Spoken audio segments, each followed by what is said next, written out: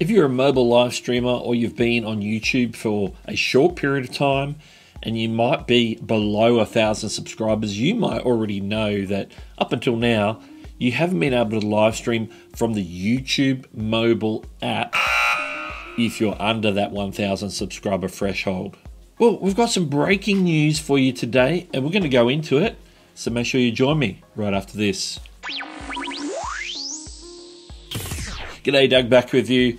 More mobile live streaming content coming your way, and today it's the good old YouTube app itself. Up until now, as I mentioned at the start, you haven't been able to live stream from the YouTube app directly if you're under a thousand subscribers. And this has been in place for some time. So if you have a look on the screen here, I can tell you what the status has been since probably the last three or four years. To live stream on mobile, you'll need a thousand subscribers. And once you get a thousand subscribers, you may have to wait to get access to live streaming.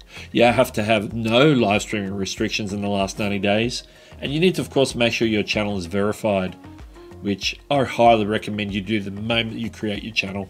We have some interesting news. So we're going to jump to two phones, both Android and iOS, to show you this.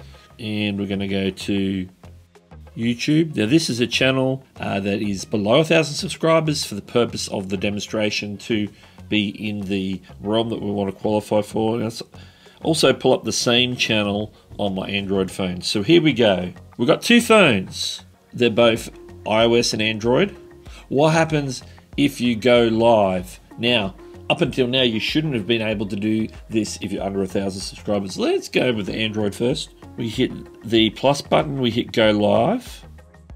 We're able to actually go live. Previously, in my first round of showing this, you can see this screenshot here where we actually got this message before we got to this screen. So this is this is good news. On Android, I can now live stream. This is a channel of under 500 subscribers at the moment. Let's do the same on the iPhone. Plus go live because I've actually tested this, this is now getting past the new picture. Okay, this is what you see in this screenshot here. You get this little go live animation with the typical YouTube artwork, and it says with the heading New Safeguards. Number one, the cap will grow as the creator history grows on YouTube. Currently, it's 25 plus your subs. We'll get into that in just a second. Archive will default to private after your video creation. So once your live stream's done, if you're under a thousand subscribers and using this feature, you're actually going to have your live stream pushed straight into private. So it doesn't remain public on your channel, but you can go back in and change that afterwards if you so desire. Once a creator hits a thousand subscribers, they'll have access to the full version of the mobile live streaming. We're going to look at this in a bit more detail by looking at the updated information on the website. This is the Android page which has the updated information. So let's scroll down you can see it on the screen there. Requirements. The new requirements are to live stream on mobile, you'll need at least 50 subscribers.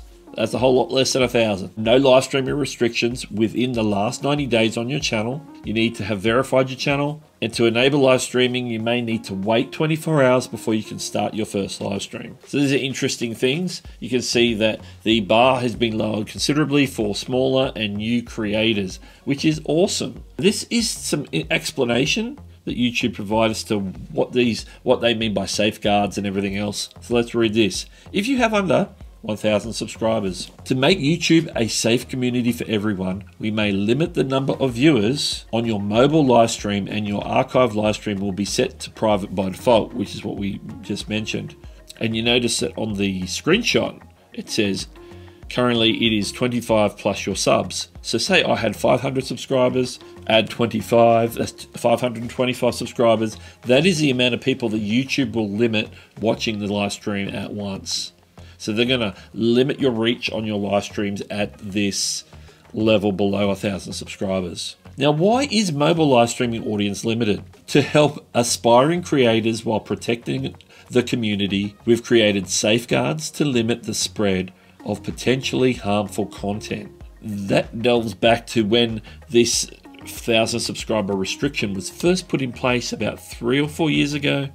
It was not long after the Christchurch massacre. A very unfortunate thing happened in New Zealand. uh, where the gunman was broadcasting his crime spree live on various platforms, and I believe it was Facebook in particular. And so at that time, all platforms were reassessing how available and easy live streaming was on their mobile devices. So YouTube put in this limitation on the YouTube app itself to safeguard lone wolf type things being broadcast and without any limitations whatsoever. Now, what happens after you get to a thousand subscribers? If I've got these certain limitations on iPhone or on Android, then what happens? It says after reaching a thousand subscribers, it may take several weeks to remove the mobile live streaming audience limitation. If your subscriber count decreases during this time, it might take longer. If your channel goes below a thousand subscribers, you will have the same audience limitation as when your channel had been less than a thousand subscribers previously. You won't lose access to mobile live streaming unless your channel goes below 50 subscribers, uh, which would be a considerable drop, which is unlikely to happen in the 99.9999% of the cases. Now, if you want to check out more of the mobile content that I've talked about, particularly in regards to live streaming, this is a video for you. We were talking about Streamlabs Mobile. If you want to check it out, it's right here for you to watch. Well, this is Doug, and I'll catch you later. Subscribe to Doug Hewson YT for more tech or content creation.